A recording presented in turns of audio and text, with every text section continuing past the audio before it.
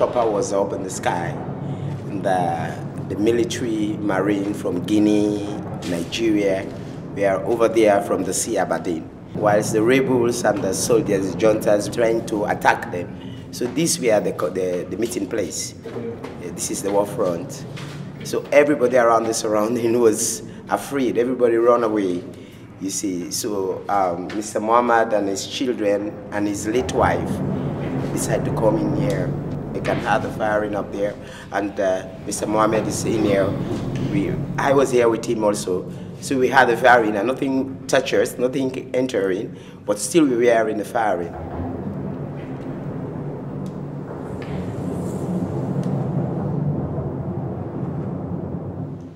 Sierra Leone's brutal and chaotic civil war lasted from 1991 to 2002. 50,000 people were killed, a third of the population were displaced, and thousands suffered torture, rape, and amputation. Infamous for child soldiers and blood diamonds, the fighting quickly enveloped the whole country, reaching the capital Freetown in 1995. This bridge spans the estuary that separated the ECOMOG West African Peacekeeping Force from junta and rebel-controlled Freetown. The bridge was a focal point for the fighting, but for Mr. Mohamed Bangura and his young family, the inside of the bridge offered refuge from the chaos.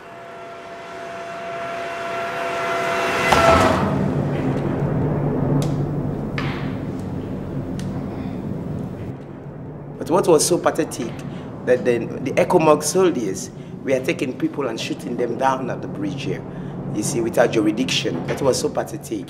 You see, when we are here watching them, there are a lot of dead bodies, bones in the, in the sea that we want to get, want them out. Because my uncle is there also, Eric Lewis. He's for the six years.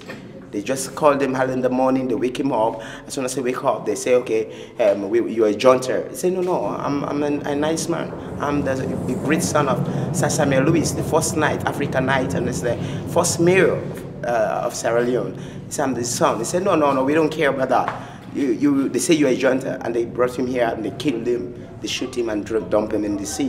And a lot of people, they dump in the sea. There's still more bones there we want to retrieve back to bury them because we have the cemetery there.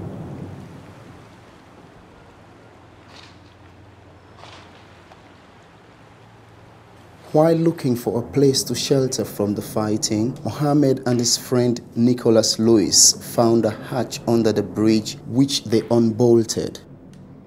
Inside they discover a perfect bunker to shield them from the bullets. They moved in and invited others to join them, making a ladder with which they could control who entered the bridge. Mohamed, his family, and Nicola still live here today. A lot of policemen came after the war, uh, during the war. They, they, took Mohamed, they beat him up, they, they took him to prison to get him out of this place. But we have nowhere to go we have no other means. We don't have money to rent house. So, so after he came from prison, he entered back into the place. I come inside uh, up here, 1995. I begin clear, maintain this place. Cut this dirty, level this ground, bank here, but people then they sabotage me, you know. When police they come, they harass me because people them, they keep fire that dynamite fish. So the fish say me I'm one of them. I tell the police, I say, look, me an innocent man. So please, when I leave me alone. Yanda a paradise for me. If because I don't get three picking at that place. So it's not a place for me for live, I know for me there with me picking it. No more fighting again. Nobody know the mistake. Because when looks Chastello, they arrest him. For the Sankoh, you know what I go. Then most of the fighters now, then they're under custody.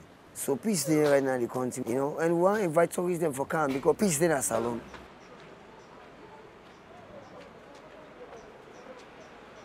Seven years after the war finished, Sierra Leone is still recovering. While progress is being made, unemployment is at 65%. The average life expectancy is 42, and one in four children dies before the age of five. The country lies at the bottom of the United Nations Human Development Index. You live in this guy, you look heavy, small, because job no the for you to man them. We get lots of lot land, they work for make agriculture, for no one able to do nothing. All village don't left home, no come, na city, talk about politics. So now left that, you see. Today, Mohamed offers the bridge as a shelter from poverty to unemployed youths. Even this guy is a stone broker, he breaks stone to earn his own money. So in this nation, uh, separation is hard. And me too, I need a work. I'm a young man, I cannot go to school. I'm, a, I'm illiterate. I left school because my mom didn't have money to pay for me to further my education. So from there, I left upline where my, my mom's live, in the village, come to the city to find money. But when I came to the city, I have no place to live, so I have to come and live here. We have no money, no food, no job. We are all jobless. Mohamed is a very good man. He's nice to us here. If you don't have, meet him. If he has, you have to help him because we are all youths of this place. And he's the father of the Bonkai. He has, has these kids, all here. He has three kids. He has the, the senior one, with Adama, and the junior Amidu, and this is the last one, Mohammed. That's why his father loves him very much. Mate. He's, he's, a, he's, he's a wonderful guy. Adamant that the mistakes of the past will not be repeated, Mohamed has formed the Real African Awareness Society to promote peace and political awareness in Sierra Leone. I tell him, I'm a man for peace. I look to the two parties, they pray for anyone we can for develop my country. Because now I dey see better shelter no clean water no better education no dey. Only one, only leader they carry the camouflage we and teeth we thief, you know, because they say a lot of money in this country for assist, but we don't see no better. So we pray for good leader. We pray and beg for develop we for the future. Because now of we now for the young children wey dey come. Because we don't mean all 40, 44 years of age. Now at any time, so God can take me. But what about in where? I don't go and left them pan crazy. I want left them with collapse. You they are always that they cry. You know, see that's why I blow my real African towards awareness. You know, they give you freedom of speech. Come on, they talk, come on, they blow mind.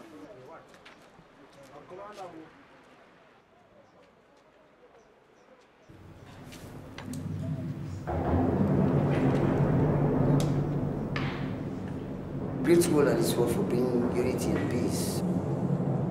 And for together. Although these are Muslim people and they try for poorly Muslim image. Because the Quran will not tell you for make you try bomb by yourself, go kill next man.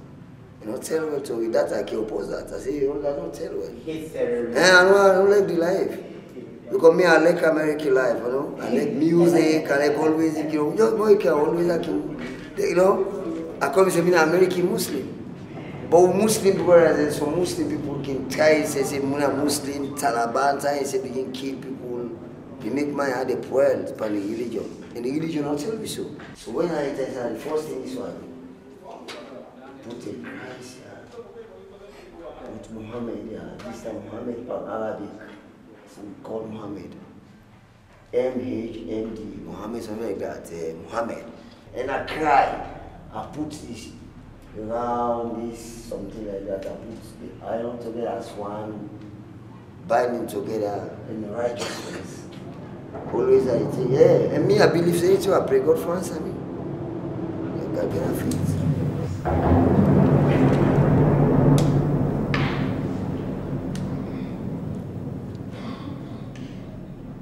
Before God and clergymen, ladies and gentlemen, you I will. That's the will of God. I want you to remember that when father and mother no longer love one another, they separate from each other. Children go suffer, oh Lord, when father and mother no longer love one another, they separate from each other. Children suffer. Children, you must obey your parents. Parents, don't provoke your children. Honor your father and mother. Your days shall be much more longer.